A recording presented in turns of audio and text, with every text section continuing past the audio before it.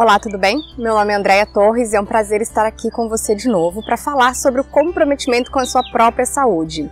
Há alguns vídeos eu venho falando sobre a importância de você realmente se comprometer com você, de você se cuidar, de você estar em contato com a natureza, de você dormir bem, de você não fumar, de você escolher consumir frutas e verduras diariamente.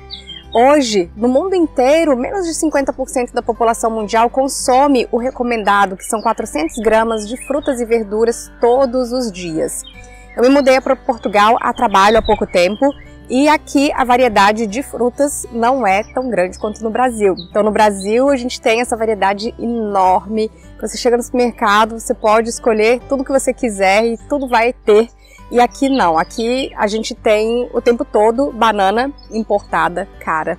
A gente tem abacate importado caro e a gente tem algumas frutas dependendo da estação. Então agora tá tendo morango, tá tendo néspera, tá tendo maçã importada, tá tendo pera às vezes, tá tendo limão importado. então assim, a variedade não é tão grande.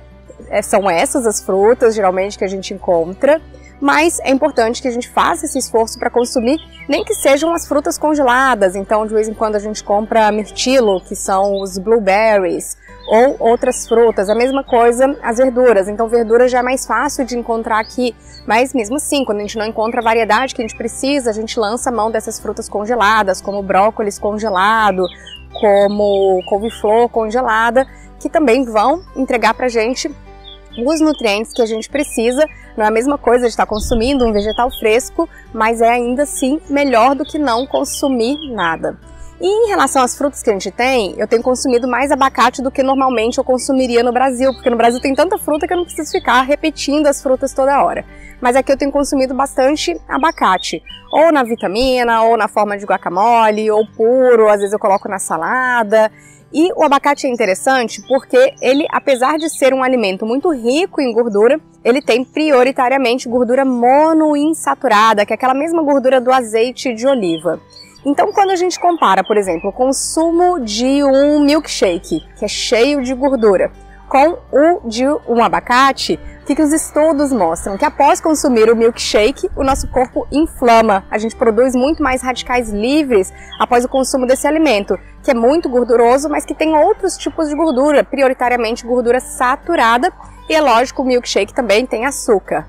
Mas mesmo quando a gente separa, se você pega só a gordura do leite, você consome você vai inflamar. Se você pega só o açúcar, você consome, você vai inflamar. E quando a gente pega o abacate, a gente não inflama. Então, por que é que um alimento como abacate, no Brasil também o açaí, ele não vai ser inflamatório da mesma forma que é um milkshake? Por que é que o milkshake vai contribuir para o desenvolvimento de doenças como doenças cardiovasculares e o abacate, pelo contrário, vai prevenir o aparecimento dessas doenças? Porque para além do tipo de gordura, o abacate também contém fibras, contém fitoquímicos, contém substâncias das plantas que nos protegem e esses fitoquímicos têm essas propriedades antioxidantes e anti-inflamatórias. Então, aumentar o consumo de alimentos de origem vegetal é importante para todo mundo. E se você tiver qualquer dúvida, acesse o meu site andreatorres.com/blog para os textos, ou então barra cursos para os cursos online, ou então entre em contato com um profissional de saúde capacitado que possa te ajudar. Um grande abraço.